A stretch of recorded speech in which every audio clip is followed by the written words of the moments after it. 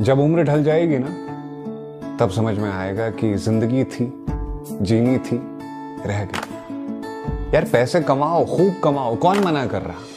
पर उन्हें कमाते हुए खुद को भूल जाओ, यार ये तो सही नहीं हो रहा।